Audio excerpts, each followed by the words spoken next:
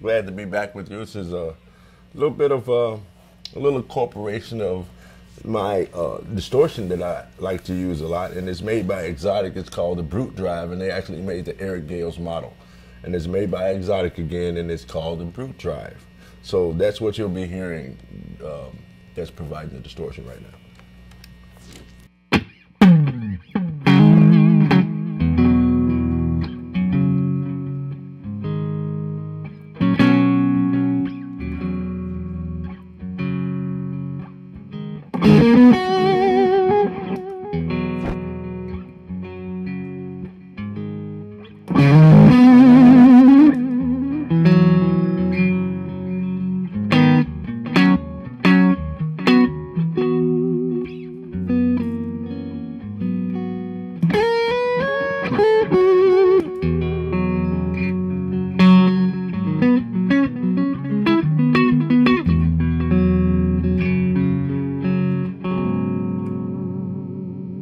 So just a little bit, you know, I like to go back and forth. That whole piece is just something I made up. It's really nice. It's really like, you know, I'm all about emotion and passion when it comes to the guitar. And uh, it's kind of like one of them flowing things, you know. It's it's a, it's a groove that I just might fire up on stage, and the band will just know to follow along, and then you have a whole nother uh, montage of uh, just nice sounds.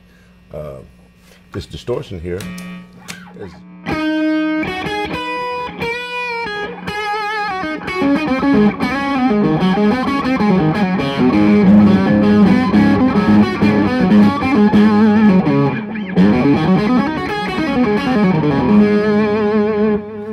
And that is some, not every note that I'm utilizing am I particularly picking on. Sometimes it's just.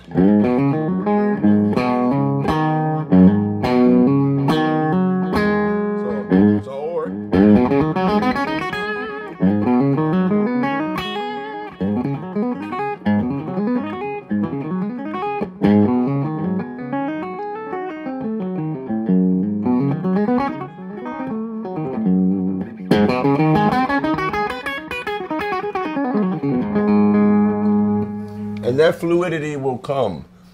Uh, the, the fluidness will come more as you you know just continue to work on just the basic.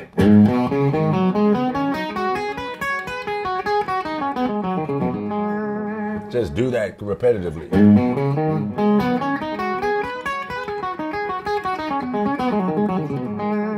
So the trick to it is not sounding so generic as you're just going you're going up kind of regularly, starting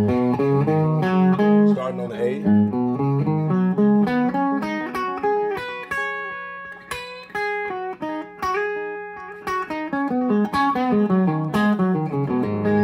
Going down is where you have the double up, sort of shit.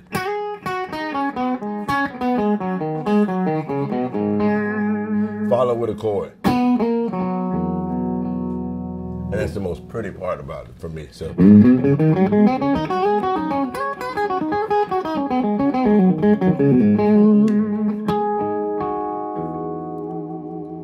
you know, and, and a lot of the chord stuff comes from like being raised in the church and you know hearing a lot of keyboard players and i would be always like man they'd do a really nice run and it would follow into such a fat beautiful warm chord.